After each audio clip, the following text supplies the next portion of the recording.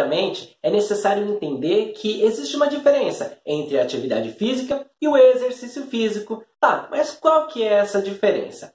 A atividade física é tudo aquilo que envolve movimento. Tá, então você está me dizendo que se eu pegar a roupa de lá do tanque e estender no varal, é uma atividade física?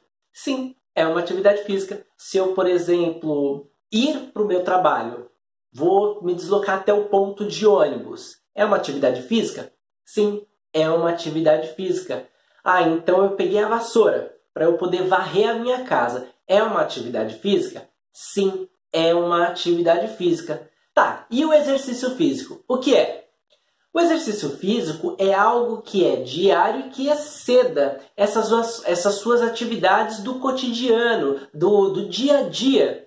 É algo que é programado, é algo que vai ter série, que vai ter repetição, é algo que vai ser controlado, é algo que vai ter intensidade, ou seja, é algo periodizado. Por quê? por um profissional de educação física. Oi, meu nome é Michel e sejam muito bem-vindos a mais um vídeo do meu canal. Puxa uma cadeira e senta, vamos conversar? E o assunto de hoje vai ser o papel do exercício físico contra o HIV. E desde já eu quero convidar você a assistir este vídeo até o final, que eu garanto que este conteúdo vai ser transformador na sua vida.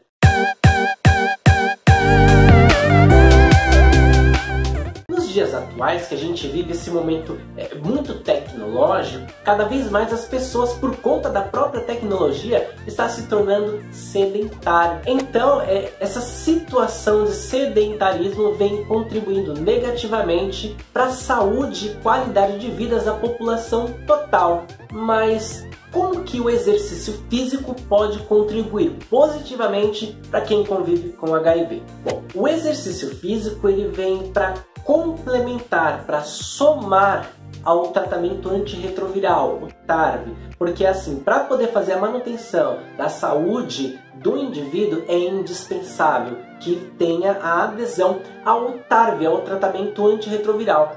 Entretanto, o TARV, por mais que controle a quantidade de vírus do indivíduo na corrente sanguínea, ele traz ali alguns, alguns efeitos colaterais. E é aí que o exercício físico entra. Nesse sentido, o papel do exercício físico para quem convive com HIV é controlar os efeitos colaterais do TARV. Eu separei aqui alguns questionamentos que eu recebi lá no meu Instagram. Inclusive, se você não me segue lá no meu Instagram, é mdias.nascimento. Eu vou deixar aqui para vocês. E segue lá para a gente ter esse papo lá no Instagram também. O questionamento ele é desse jeito, ó. Tem diferença entre quem convive com HIV e quem não convive? Aqui eu meio que senti que é uma, uma, um questionamento de tem diferenças em adaptações? Mais ou menos nesse sentido.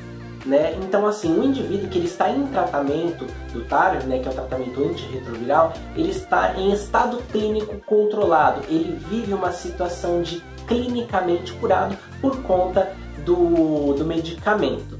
Nesse sentido, o que, que os estudos apontam? Não há diferença alguma entre o indivíduo que está em tratamento, é, que convive com HIV, e o indivíduo que não possui HIV. Portanto, as recomendações de exercícios são praticamente as mesmas.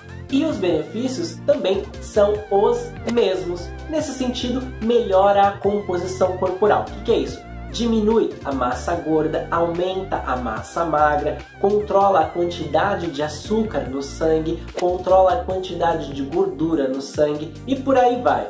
Eu também recebi um outro questionamento: é, convivo com HIV e qual é a melhor opção? É a esteira ou a musculação? Se a gente for procurar aí na base de dados, a gente vai ver que tem é, muitos estudos que falam dos benefícios aeróbicos e também tem alguns estudos, bastante estudos que falam sobre os exercícios de treinamento com força, a musculação. De antemão, os dois.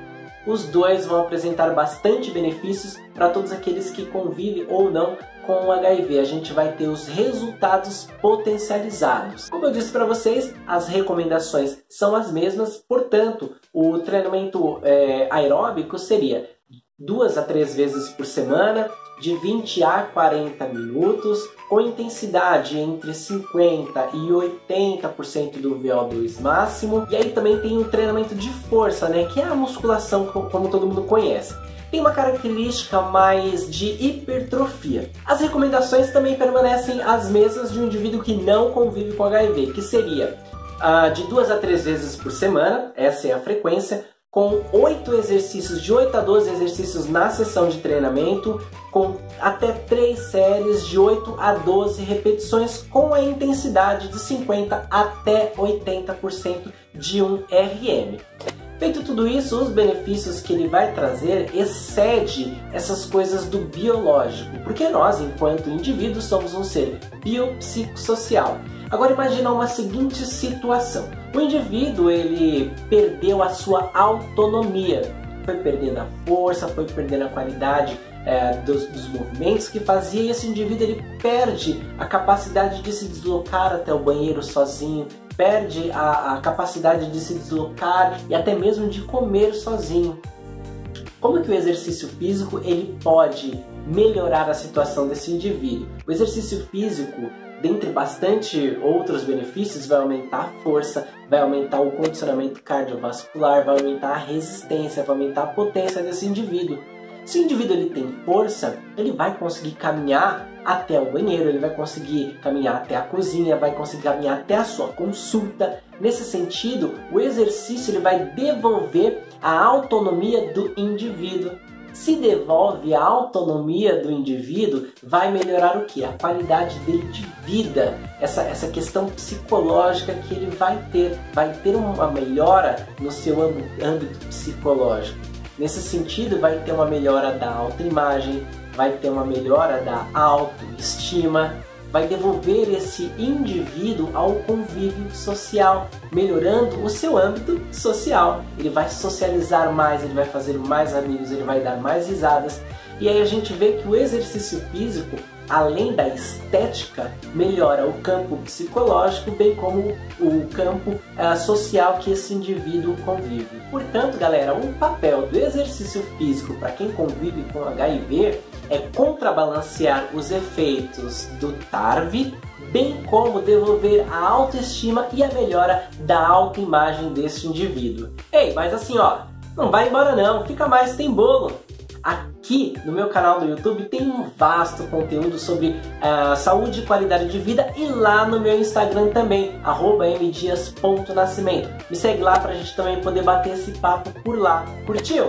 Deixa aquele like, isso fortalece demais o meu trabalho. Quer fazer um elogio? Deixa aqui no comentário. Ou então, ficou com alguma dúvida? Deixa aqui no comentário também. E compartilha também. Nós precisamos falar sobre HIV. Isso vai acabar com o estigma e o preconceito que envolve todo esse tema. Combinado? Fazendo tudo isso, você torna o meu conteúdo ao YouTube mais relevante e o próprio YouTube começa a compartilhar e recomendar para mais pessoas. Beleza? Galerinha, meu nome é Michel, em busca de um mundo mais positivo e é nessa que eu vou.